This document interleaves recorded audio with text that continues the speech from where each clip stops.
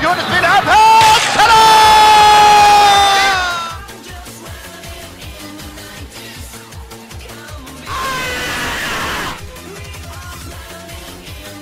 You're my friend now. yeah, boy.